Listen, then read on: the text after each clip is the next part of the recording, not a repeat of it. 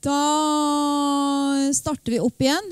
Klokken er kommet. Eh, Den, velkommen til parallellstasjon. Denne parallellstasjonen har tittelen 'Sikring av tilpasset, opplæring for elever fra språklige minoriteter et lederansvar'. Vi ønsker da velkommen til NAFO, Nasjonalt senter for flerkulturell opplæring. Forelesere er Sigrun Aamodt, hun er leder for NAFO, og hun er googlappa har et hovedfag i flerkulturell og utviklingsrettet utdanning.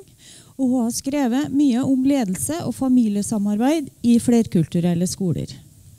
Liv Bøyesen, seniorrådgiver.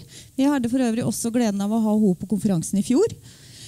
Hun øh, holder øh, masse kurs og har i ei årrekke bl.a. forelest og skrevet om problematikk knytta til flerspråklige barn og utredning av flerspråklige barn, unge og voksne. Tusen takk for uh, invitasjonen. Det er veldig stas å være her og møte så mange ledere fra PPT. Og det er kjempehyggelig for oss at så mange er på denne sesjonen. det tolker vi dit hen som at dere syns dette området, altså språklige minoriteter, barn, elever, voksne, at det er et viktig område. Og vi vil gjerne snakke med dere om det. Jeg heter altså Sigrun Aamodt, og jeg er leder for Nasjonalt senter for flerkulturell opplæring. Og her er min kollega. Ja, jeg er like til stede som i fjor.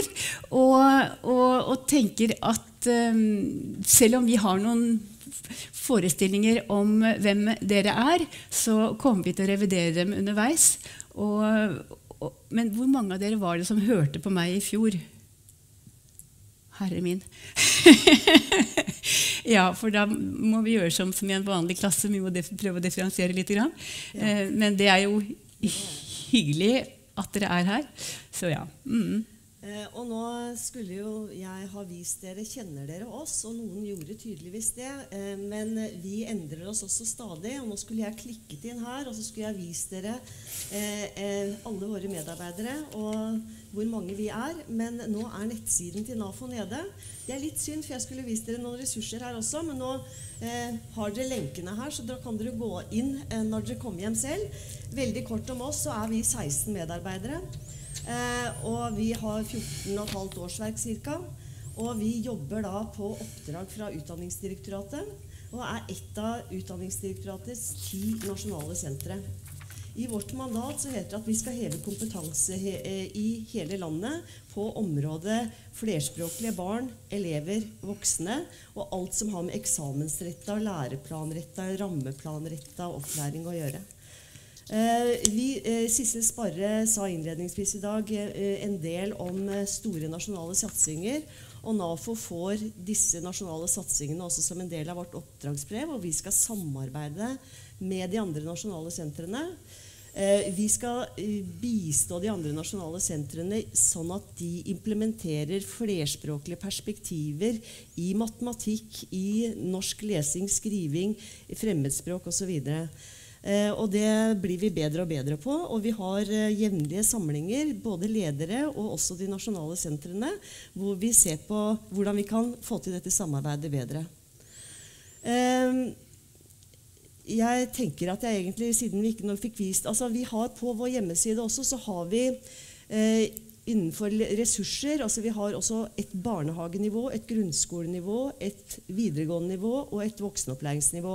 Og innenfor alle de områdene så er det også en knapp, kaller jeg det. jeg vet Det er sikkert ikke det på dataspråk, men en knapp som det står PPT på hvor vi sier noe om hvordan PPT kan jobbe, og også hvilke kartleggingsverktøy vi har utviklet og stadig utvikler, som er flerspråklige. og Det skal Liv si litt om seinere i dag. Ja. Kan jeg legge til noe der? Det kan du. Ute på stand så, står, står det også, så er det også en sånn liten, lite A4-ark som er en kopi av den siden som er PPTs, hvor det også står hvilke ressurser som er. Mm. Så dere kan også gå på stand, og Der ligger også et eksemplar av uh, av eh, Floro. Da skal jeg bare innlede litt sånn først og si litt sånn hva, eh, hva vi skal legge vekt på på den konferansen her, som handler om ledernivåene. Og det handler også om at det er veldig mange ledernivåer. Og det handler om et samarbeid og hvordan i all verden få til det. Og nå er det jo veldig mange av de foregående talerne som har sagt dette og beskrevet dette veldig bra, så egentlig så kan jeg bare tre helt tilbake nå. Men jeg, vi har jo laga et lysark, da, Liv, Ja. eh, hvor vi sier hvorfor fokus på PPTs arbeid og ledernes ansvar. Og vi opplever jo et enormt behov når PPT kontakter oss i våre nettverk, at veldig mange PPT-rådgivere har behov for kompetanse i forhold til hva gjør vi når vi kartlegger minoritetsspråklige barn og elever. Hva er å være i en mellomspråksfase, og hva er spesialpedagogiske behov og, og andre typer behov. Hva er det PPT skal ta seg av? Hva er det skolen og lærerne må ta seg av med sin kompetanse? Og Derfor er det kjempeviktig å treffe dere som ledere, for dere har jo makt dere, til å på en måte kunne initiere og se og analysere hvilket kompetansebehov har vi her hos oss. Det kan jo dere drøfte sammen i deres kommuner med deres medarbeidere, eventuelt om dere samarbeider med eh, interkommunalt. Eh, vi lagde et bilde her, og, og så stoppa vi litt opp, da, for dette hadde blitt et edderkoppnett. Eh, vi begynte liksom, eh, dette, Så dette stemmer ikke. Men det er mange aktører på dette feltet som alle skal ha med disse barna og disse elevene å gjøre. Og egentlig så blir det feil også at NAFO står helt på sidelinjen, for vi er jo litt under stat. Staten er Kunnskapsdepartementet, som gir oppdrag til Utdanningsdirektoratet, som igjen gir oppdrag til de nasjonale sentrene de ulike, eh, innenfor de ulike oppdragene. Eh, og Vi har et stort oppdragsbrev, og hvis dere lurer på hva vi faktisk har av oppdragsbrev, så ligger det også på våre hjemmesider. eh, hva vi satser på. Men siden det var NAFO og PPT som på en måte skulle være her nå, så ble det den streken, da. Men NAFO har altså i alle 19 fylker så har vi nettverk. Og de nettverkene består av eh, det som kommer frem her som utrolig viktige, som er skoleeierne på fylkeskommunalt og kommunalt nivå. Skoleeierne er kjempesentrale i alt arbeid som foregår i kommunene. Det er de som snakker med rektorene, og barnehagemyndighet selvfølgelig også. Nå er jeg litt sånn skolsk, men barnehagemyndighet er jo også med her. Men eh, vi kommer til å snakke mest om skole og, og samarbeid der. Eh, vi har som sagt nettverk i alle fylker hvor skoleeiere er, og hvor fylkesmannen, altså utdanningsdirektøren, er. Og hvor, eh, hvor vi har med UH-sektoren. De er jo også en samarbeidspart som vi ikke har tegna opp her. Men eh, vi bor jo også eh, på universitet og høyskole, alle de nasjonale sentrene. Og NAFO holder til på Høgskolen i Oslo og Akershus, hvor vi har et veldig sterkt fagmiljø innenfor dette området. Så har vi skoler og barnehager som vi jobber veldig tett med, og utvikler pedagogisk praksis innenfor dette feltet. Eh, som prøver ut læringsressurser som vi lager, og som vi inviterer med når vi får prosjekter i våre eh, ulike prosjekter.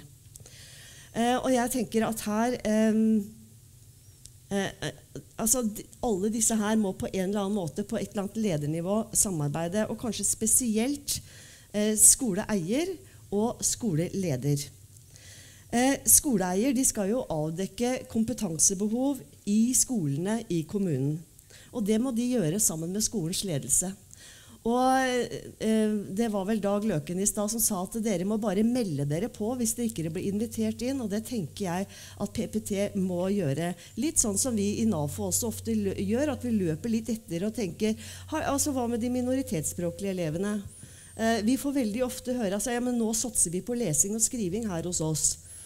Ja, men de minoritetsspråklige elevene skal også lese og skrive. Men mange leser og skriver på et andrespråk.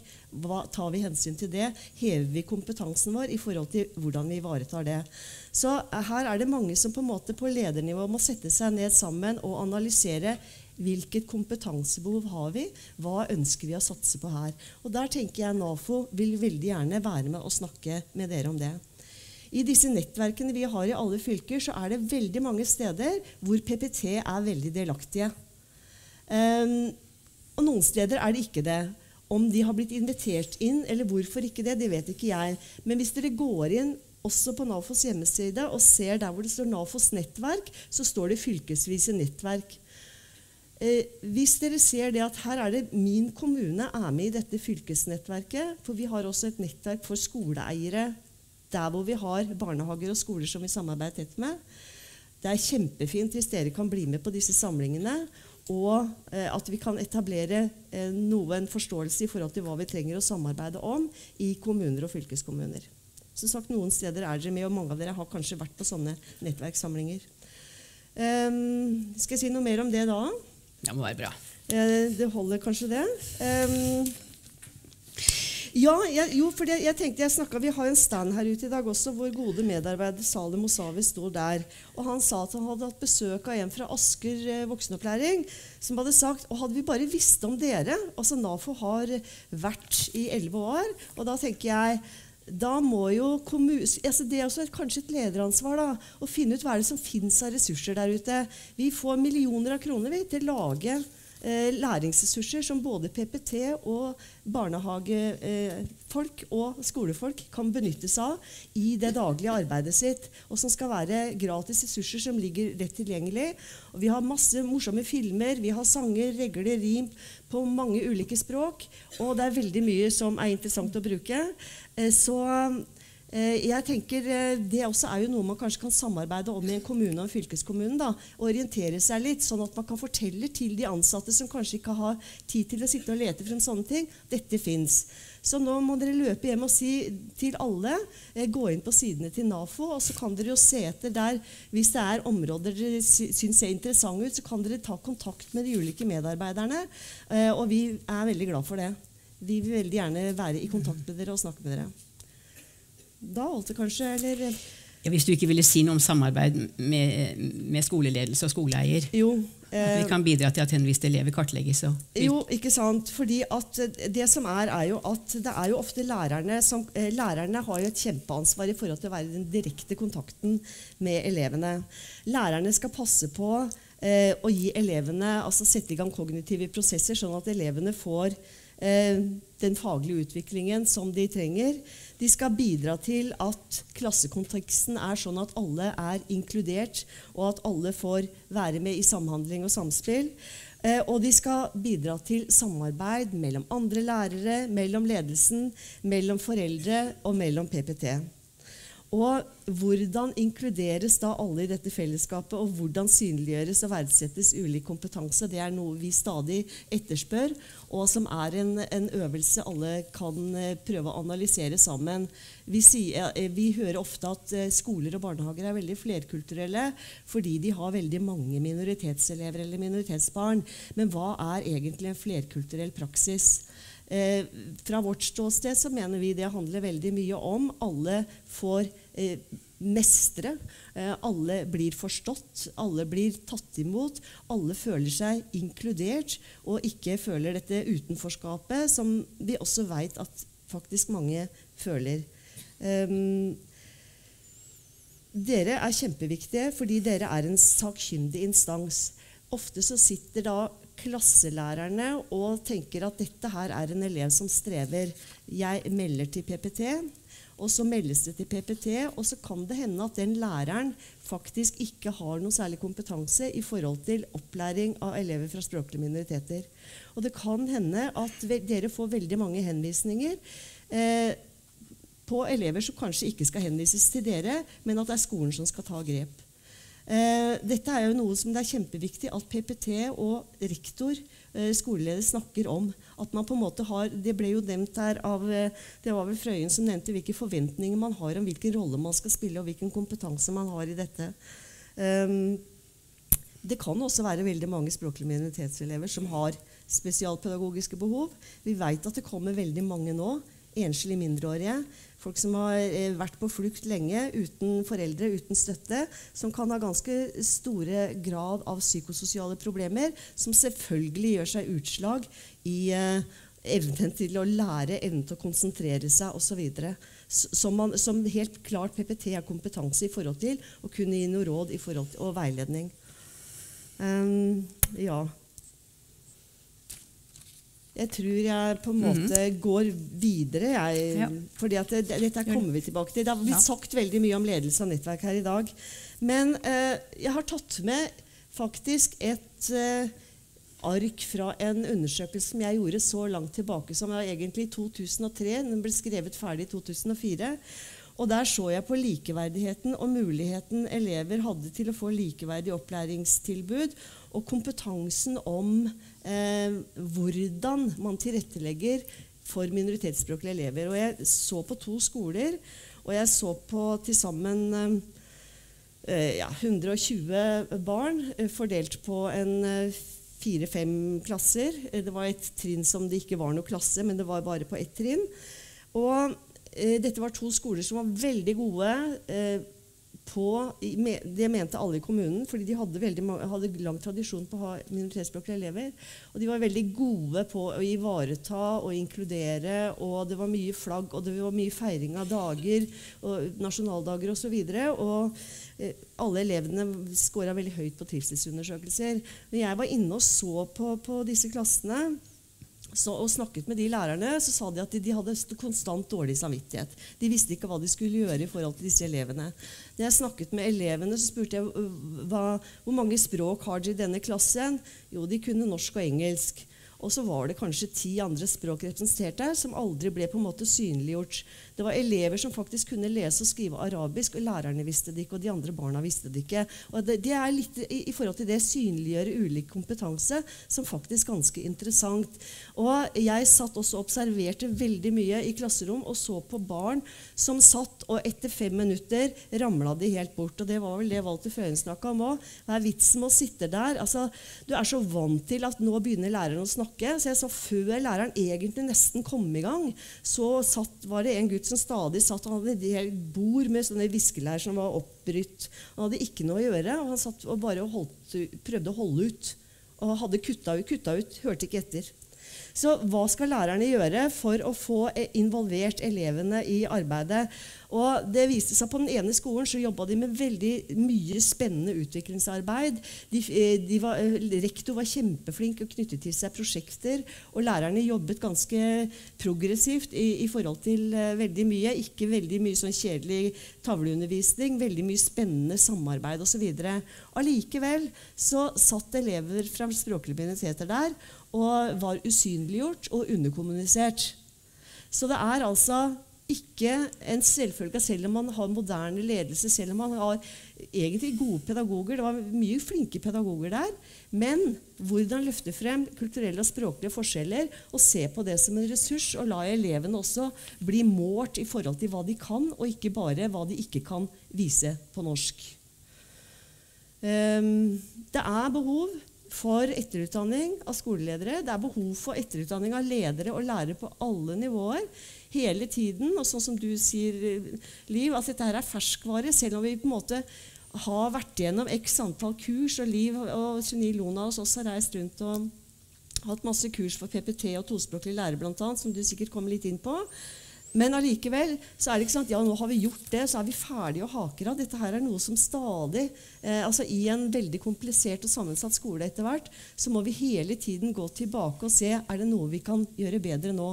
Eh, hvordan, hvilket elevgrunnlag har vi nå? Hva, hva må vi utvikle videre? Eh, dere kjenner Østberg-utvalget, ikke sant? Eh, den lille undersøkelsen min. Eh, dette her var jo en undersøkelse som pågikk over hele landet i tre år hvor de løftet på og, og benytta seg av mye forskning, hvor de var rundt i kommuner og i fylker. Og de konkluderte jo også med at det er et stort behov for kompetanseheving i UH-sektoren, altså i lærerutdanningene, eh, i kommunene og i PPT. Og pga. denne her så har jo NAFO også fått en haug med oppdrag etter 2010. Og Derfor er vi vel også her i dag. at uh, Ser PPT er vel også et resultat av en del av det som kom frem i Østberg-utvalget. Og da er det deg, tenker jeg, for det er mye morsommere å høre på deg nå. Nei, det er sikkert. Så da er ditt ark neste. Ja, og jeg skal, stå her litt. Men jeg skal ikke snakke på nynorsk, selv om det er rettigheter. Uh, og jeg tenkte at Overskriften vår er jo 'Hvordan skal vi sikre?' Hvordan skal vi sikre tilpasset opplæring, eller sikre elevene at de blir inkludert? Eh, og Da er det tre områder som eh, vi har plukket ut. Det ene er rettigheter. Det andre er gjennom, vi sikrer gjennom en opplæring som er tilpasset elevene, og også de fra språklige minoriteter. Og at vi sikrer de likeverdige læringsmiljøene. For det er ikke bare snakk om språk, og det er ikke bare snakk om atferd og følelser og sosial inkludering, men det er begge deler. Det syns vi er viktig å si fra om. Så jeg skal ta det kjedeligste først, men allikevel veldig viktig med en forankring i et lovverk. Eh, så har vi paragrafene 2, 8, 3, 12, og sammen så har vi jo på en måte paragraf, kapittel 5 med paragrafene 5, 1 og 2 osv. Eh, hvor, hvor man i paragraf 2, 8 og 3, 12 har en rett til grunnleggende norsk når eh, eleven ikke er, kan tilstrekkelig norsk til å følge med den vanlige opplæringa. Og så har man rett til morsmålsopplæring om nødvendig, og fagopplæring på morsmål om nødvendig. Eh, og det er krav om kartlegging både i grunnskolen og før videregående skole. Eh, og det som er å merke seg, er at kommunen skal kartlegge hva dugleik elevene har i norsk før det blir gjort vedtak om særskilt språkopplæring. Og Slik kartlegging skal også utføres underveis i opplæringa for elever som får særskilt språkopplæring etter føresegna, som grunnlag for å vurdere om elevene har tilstrekkelig dulek i norsk til å følge den vanlige opplæringa i skolen. Så dette skal gjøres underveis. Og Kommunene kan altså da organisere særskilte opplæringstilbud for nykomne i egne grupper, klasser eller skoler. Eh, og dersom hele eller deler av opplæringen skal skje i sånne grupper, klasser eller skoler, må dette fastsettes i vedtak om særskilt språkopplæring. Og Vedtak om slik opplæring i særskilt organiserte tilbud kan bare gjøres dette er regnet til å være for det beste for eleven, og det kan bare gjøres for ett år om gangen. Og Det kan da gjøres vedtak fra og gjøres avvik fra læreplanverket for den aktuelle eleven i den utstrekning dette er nødvendig for å ivareta eleven behov. Og dette krever da samtykke. Og jeg regner med at dere egentlig kan det og har sett det. Ehm, det som er nytt nå, og litt spennende, er jo at det er, et, eh, at det er et høringsforslag ute om å endre og myke opp litt her. Og Sigrun, vil du si litt om det i forhold til Tor Heyerdahl? I forhold til praksisen der? De har hatt en fokusvirksomhet i åtte år som har jobbet for en modell som har, man måtte søke særskilt om å få lov til å drive den modellen. Men nå ser det ut til at det både skal bli lovlig, og at det skal bli et mønster for resten av landet. Og det kan komme den gruppa som er mest sårbare til gode. Ja, og Det handler jo om eh, seint ankomne, de som kommer seint i skoleløpet. Eh, disse ungdommene som eh, av ulike grunner ikke har fått eh, tilstrekkelig opplæring på grunnskolenivå. Eh, det som ble satt i gang, Dette er våre fokusvirksomheter i Larvik. Eh, vi satte i gang for åtte, uker, åtte år siden et prosjekt som vi fikk dispensasjon fra Utdanningsdirektoratet om å gå utenom lovverket. Og Det handla om et spleiselag mellom fylkeskommune og kommune at eh, de ungdommene som gikk på grunnskoleopplæring på voksenopplæringa, de fikk en klasse eh, på Tor Heyerdahl videregående skole. Og så lånte man bort lærere fra, eh, fra grunnskolen for voksne til eh, videregående. Og så var det en koordinator som skulle koordinere samarbeidet eh, mellom disse. Og det de gjorde, det var at de parallella, altså de som overhodet ikke hadde engelskferdigheter, hadde gått og lært engelsk, de kunne begynne helt på scratch. De som kunne noe, fikk det på et annet nivå. Så de kunne hoppe ut og inn innenfor alle de grunnleggende fagene, som matematikk i forhold til norsk opplæring, og i forhold til engelsk, i forhold til naturfag, i forhold til samfunnsfag. Eh, og, eh, og de hadde alt var parallellagt på to ulike nivåer. Og de som også hadde kanskje kunnskaper og ferdigheter på videregående nivå, de kunne gå inn og ta kurs og gjøre seg ferdig med ting på videregående nivå, sånn at de hadde mer tid på å bruke på de fagene de ikke hadde så gode kunnskaper i. Dette her har de holdt på med nå i åtte år, og det har blitt en stadig mer kultivert modell, hvor man også har trukket inn veldig mye tospråklige lærere etter hvert. sånn at altså, Har du kort tid til å lære deg noe, så er det veldig lurt å lære det på et språk du forstår. For ellers så skjønner du ikke hva læreren sier. Sånn at de har jo på de største språkene språkgruppene så har de ansatt tospråklige lærere, og da går det jo veldig mye mer effektivt. Og nå har eh, Røe Isaksen vært nede og sett på og er blitt veldig begeistret. Og nå er det inne et lovforslag, dette står det også om på våre hjemmesider, om at eh, istedenfor at man skal søke dispensasjon hvert eneste år, så er dette noe man ønsker å åpne opp for en mulighet til i loven, sånn at sånne tilrettelagte tilbud og samarbeidstilbud egentlig skal gjelde for hele landet. Og det er sånn gledelig. Fordi at vi har fulgt disse elevene også, de som har vært igjennom hele dette, de har jo nesten ikke frafall. Altså, De klarer seg faktisk så bra, og de er så ivaretatt. og de er, altså Vi har intervjuet disse barna. Det er helt rørende. De er, og de forteller hva det er som betydde en stor forskjell. Det var å få en tospråklig lærer. Og da snakker vi kanskje om tre timer i uka. Altså, hvor de kunne velge sjøl hvor de ville ha med seg den læreren. Og de sa ja, men nå, jeg, nå lærer jeg mye bedre engelsk, jeg lærer mye bedre matte, jeg lærer mye bedre norsk. Fordi de på en måte har fått den støtten og den tryggheten i det å kunne få lov til å drodle rundt på eget morsmål. Så det, eh, altså, det bare sier meg at det, det, nytter, og det er kjempegøy når folk ikke gir seg og holder på og holder på, som de har gjort i Larvik. Eh, så det, det, kunne vi snakka lenge om, hører jeg nå, men ja. nå skal du gå videre. Ja, men Det er flott. Ja. Flott å gi konteksten her. Ja, jeg har iallfall laget en, ny, en, liten ny figur eh, for å vise hvor vi er like og hvor vi er forskjellige. Og, og her eh, handler jo da om tilpasset opplæring, og jeg prøvde å lage med noen elementer igjen tilpasset opplæring. Eh, og, og, og, det man gjør for å gi tilpasset opplæring, er iallfall å se på forutsetninger. Og det gjør både dere, og det råder vi lærere til å gjøre. Eh, det er bare det at vi, vi, Hvor vi går etter konteksten. Vi går etter hva slags livssituasjon har de, hva slags erfaringer har de, og, og, og hva kan de. Men det vi gjerne tilbyr ekstra, det er hvor langt er de kommet i sitt andrespråksutvikling. Og også for en sånn gruppe som nå sannsynligvis kommer til oss, det, som vi vet kommer til oss, så vil det også kanskje være spesielle erfaringer som traumer og, og, og harde, harde livserfaringer. Um, og der, når det gjelder dette med forutsetninger, der ligger jo også noe av vurderingen i forhold til hva skal elevene, elevene få av tilbud. Hva er tilpasset opplæring?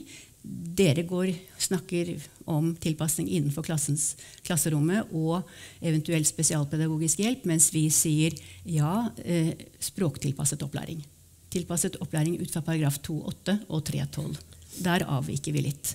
Og vi, vi, holder at, vi, holder stadig på at det er en uh, klassifisering som er nødvendig å gjøre, nemlig at det å ha et norsk som et andrespråk er ikke et spesialpedagogisk behov.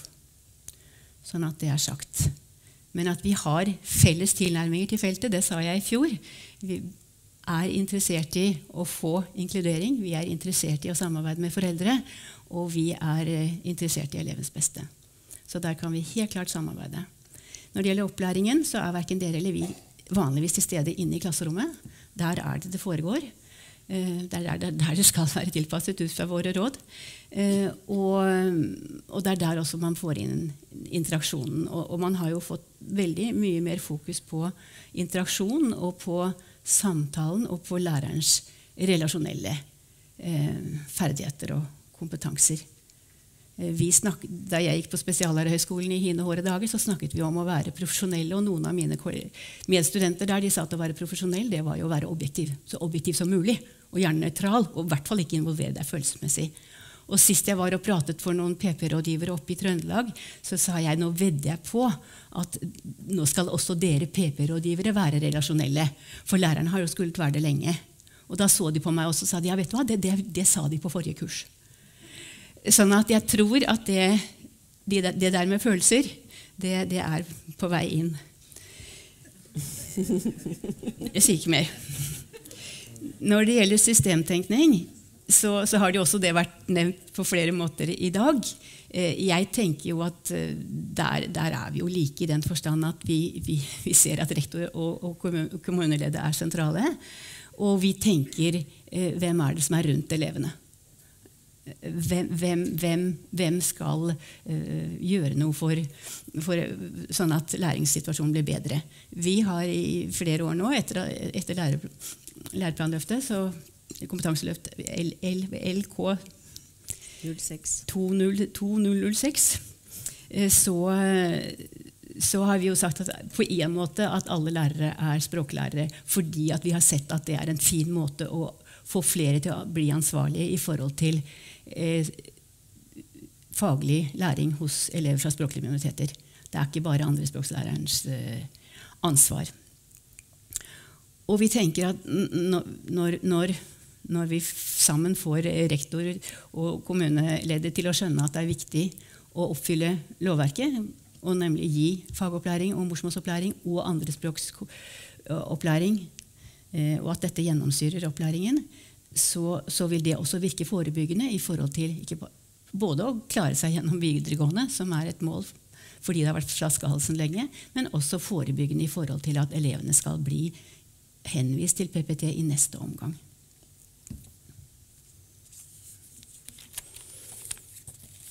Og Hvis vi skal se på hvem de her elevene er, så er det, har vi snakket om at vi skal fokusere på de eh, som er spesielt sårbare.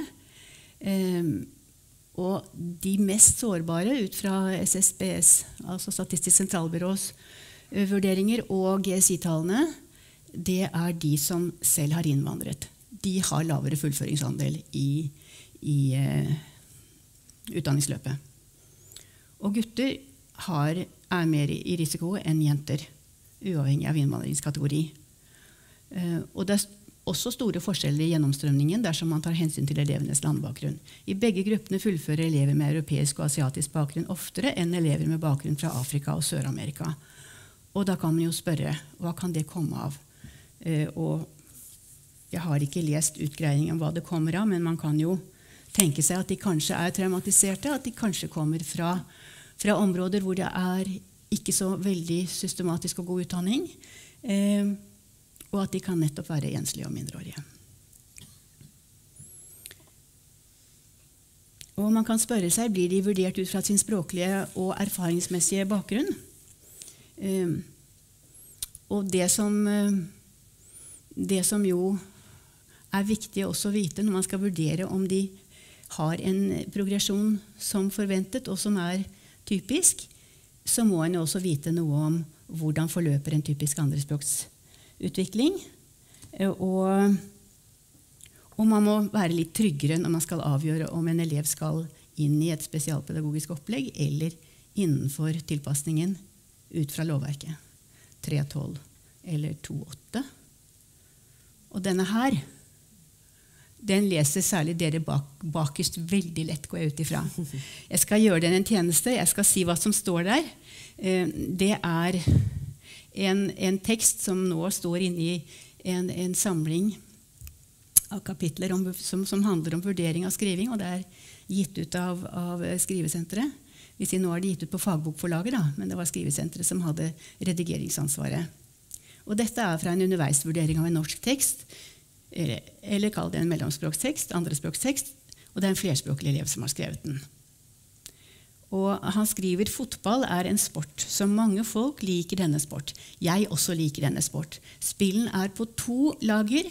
Hvert lager har tolv spiller, én på mål, bak, midtbane og spiss. Um, trener kan velge at hvor mange uh, står bak eller spiss eller midtbane. Spiller kan ikke bruke arm, men keeper kan bruke arm. Uh, på banen er tre, tre dommer. Når en spiller springer foran mål, og keeper er bare med ham, også andre spiller kommer og sparker på denne spiller som skal skyte mål, da blir det frispark. Og den spiller som har sparket på andre spiller, må gå ut og kan ikke spille. Nei, det er ikke mulig. Ti minutter igjen. Ja. Nå i hele verden Brasil er best og god lag. Men ett lag er som heter Real Madrid. De har mange gode spillere i hele verden, som heter Zidane, Ronaldo, Raúl og så er det han som alle guttene kan her i salen. Han heter Carlos Nei. Hæ? Ja, Roberto Carlos. Afghanistan har også fotballag. I fjor Afghanistan har spilt i kamp mot Iran. Afghanistan taper. Um, fordi Afghanistan kan ikke god spille at 23 år Afghanistan var krig. Nå er også med. Ikke så mye som før. Jeg liker å gå på afghansk, afghanske lag. Jeg håper den en gang Afghanistan får medalje. Iran er ikke så god, men, en, men mer enn Afghanistan. Norge har også en god fotballag. Og Jeg skal ikke gå inn og analysere denne, verken ut fra læreplanmålene, hva han klarer der, men si fra at det fins et, et, redskap hvor man kan vurdere andrespråksutviklingen her. Og se på hvilke mål elevene, omtrent vurdere hvor langt eleven er kommet. Det gjør jeg i artikkelen. Eh, det som jeg ville kjapt tenker er viktig for dere å vite her, det er vel eh, Ja, hva er det? Dere må jo spørre er dette her helt normalt, eller har han her eh, dårlige eh, er han kommet, har han, Jeg hører veldig ofte noen si 'dårlige norskferdigheter'. Jeg liker å si at de er kommet kort. Er han kommet kort, eller er han ikke kommet kort? Jo, han er kommet nokså kort. Men, men eh, hvordan er han i forhold til kompetansemålene i norsk? Hvis han skal vurderes ut fra dem? Ja, hvor gammel er han? Dette er ungdomstrinnet. Dette er ungdomstrinnet, og dere kan spørre hvor lenge han har vært i Norge. Og hvis han har vært en to-tre år, så, så er dette kanskje ikke så dårlig. Jeg har iallfall vært borti PP-tjenester som har fått sett på den teksten, og de sier ja, men han der er jo kommet langt. Det her er ikke noe spesialpedagogisk. Her er det ikke noe lese-skrivevansker inne i bildet. Og det har de helt rett i. Men utfordringen ligger jo i at hvis man, hvis man vurderer ham ut fra læreplanmålene i norsk for majoritetselevene, så vil han jo få veldig lav score fordi at, på det formelle, ikke minst. Fordi at han, tegnsettingen er dårlig, og han, han, han mestrer ikke formverket sånn som han skal. Og det er litt viktig å vite, ikke minst for motivasjonen hans, men også for at det skal bli en riktig vurdering. For, for, eh, for hvis man vurderer ham ut fra en andrespråksutvikling, eh, så vil man kunne se at han, er, han, han mestrer mye, og han, han, er på en nivå 2-3 omtrent. Han, begynner å få formverket på plass i, store, i stor grad. Og hva, og, hva gjør, og hva, man så gjør for ham, er også kjempeviktig. Videre, om man utnytter mulighetene til å la ham få, få flere år, kanskje to år Er det VG1 over to år? Mm. Og eventuelt fem år til sammen. Fordi at selv om han kanskje har et bra vokabular i forhold til fotball. Han skal, For å kunne klare seg så må han jo ha et godt vokabular, faglig vokabular for å klare seg i de andre fagene. Og vi har trekantsamarbeidet som et tiltak som kan være fornuftig her. Eh, og som sagt andrespråksvinkling på, på tilbakemelding til ham. Denne hadde jeg i fjor. Og det er jo bare for å minne om forskjellen på, på spesialundervisning og på kravene til dem som har norsk som andrespråk. De som har norsk som andrespråk, de må løpe fortere, for de skal ta igjen majoritetselevene hvis de skal nå de samme målene. Og da må vi ikke gi dem tilbud som forsinker dem, istedenfor å gjøre at de løper fortere. Unge enslige asylsøkere de er, de er mest sårbare. Og det sier Oppdal, Seglem og Jensen i en undersøkelse som de hadde. Eh, ja, jeg skal si litt mer om dem. Um, fordi jeg syns det er interessant, og fordi jeg ser jo at NAFO, NAFO vi jobber jo med atferdsproblematikk, og vi jobber med lesing og skriving. Vi jobber med de hyppigste vanskene. Vi jobber jo ikke med de spesielle um, andre vanskene som PP tjenesten kan ramse opp. Både ADHD og Asperger og alt sammen. Uh, men, eh, men, men, vi kan gå inn sammen i forhold til de som er flyktninger og kommer nå og er alene. Og det som jeg jo syns jeg ser i forhold til traumer, det er en ny på en måte skal kalle det ny giv, men det er en ny måte å se på dem på. Eh, traumatiserte. Man ser at det er mer mulighet for læring, men man har på en måte også bedre eh, observasjoner. Man har, man har, en mer positiv tilnærming fordi man ser at ja, de har smale læringsvinduer, men de har læringsvinduer, og vi må bare passe på at vi tilrettelegger slik at de traumatiserte kan være så trygge at de tør å lære, og ikke bare har systemer for alarm gående og er enten eh, veldig aktive eller veldig passive. Eh, jeg vet at det har vært differensialdiagnostiske utfordringer knyttet til å skille mellom ADHD og traumatiserte personer. Eh, og jeg har prøvd meg bare sånn litt amatørmessig kanskje, men jeg tror, tror det kan også være til hjelp for PP-tjenesten når de skal ut og forklare lærere. Forskjellen på ADHD og traumatiserte er at eh, traumatiserte har smalt tidsvindu. ADHD der er det korte tidsvinduer. Eh, og dette har jeg fra deres skribenter, altså Statped. Eh, det er, er det Handorf han heter, som skriver om ADHD. Og, og de kan ha en kombinasjon eh, mellom ADHD, AD eller HD. Det er ADHD-ene, mens svingningene eh, mellom hyper- og hypoaktivering er, er, er, mer typisk for traumatiserte. Eh, det ene er genetisk-biologisk. Eh, kan man forklare genetisk biologisk, mens det andre er mer erfaringspåført. Og det er forstyrrelse i transportmekanismen for dopamin, mener man i forhold til ADHD. Mens det er forstyrrelse i hjernens alarm- og reguleringssystem kan man si, for, for traumatiserte personer. Men det som er, gjelder begge, er at god omsorg hjelper, pluss annen behandling for ADHD, mens god omsorg trygger og er en forutsetning for læring for de traumatiserte. Så, så det, dette sa jeg ikke i fjor. Så jeg tenkte at det kunne være litt nytt uansett. Og så kan man jo også spørre litt om det er, om det er likeverdige læringsmiljøer. Og der har vi jo igjen mobbing og trakassering, som vi syns er viktig. Seberg har sagt at etnisk diskriminering i skolen foregår. Fandrem sier at mobbing foregår blant gutter. Og hvis jeg ser på trivsel, så er det ikke nødvendigvis slik at eh, barn trives. Spesielt innvandrerbarn trives ikke. Hopp over den. Jeg hopper over. Jeg hopper over, jeg hopper over og vil si litt om, om NAFO. Prøver. Og jeg vil si litt om, om Floro, som jeg kurser i. Vi har altså tre typer um, verktøy. Vi har verktøy for å kartlegge dem som er kommet med liten skolebakgrunn. Vi har leseprøver, og det er prøver for å lese, og de er på tidlige nivåer. I forhold til lære, læreplanen for morsmål og, og norsk som andrespråk så er de første nivåene der. Og når det gjelder de kognitive prøvene, så er de leserelaterte det går på ordminne, rand og ordrepetisjon, som da er eh, ferdigheter man mener er knyttet til eh, lesing og skriving. Og Det kan dere lese artikler om på nettsiden vår, og jeg kurser i dette. Og en teoridel, en implementeringsdel og en samarbeidsdel. Og Det som er morsomt, er jo at jeg nå skolerer PP-rådgivere og tospråklige lærere i store deler av landet. Eh, felles, felles, kurs, men litt sammen, litt hver for seg.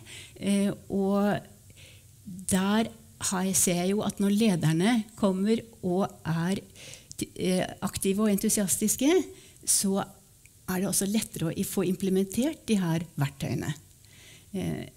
Og jeg tror at fremover så, så, kan vi få dekning på landsbasis med de her verktøyene, hvor man kartlegger på morsmålene. Eh, og vi får en base av tospråklige lærere som, for, som, forhåpentligvis kan utnyttes andre steder i landet, eventuelt interkommunalt eller, eller eh, ved interkommunalt samarbeid, eller kanskje enda også på tvers av fylker, hvis, hvis vi får, får, dette inkorporert i noe fleksibel læring, som vi også skal ha prosjekter for. Det var det, tror jeg. Det virker som om det er uro rundt meg. Hva så hva nå? Det var det. Ja, ja tida går så altfor ja, fort. Den gjør det i godt selskap, sa ja. fysikklæreren min alltid. Så da det bare Tusen takk til dere, og gå inn på sidene og les, dere andre. Vær så god, begge to. Tusen takk. takk.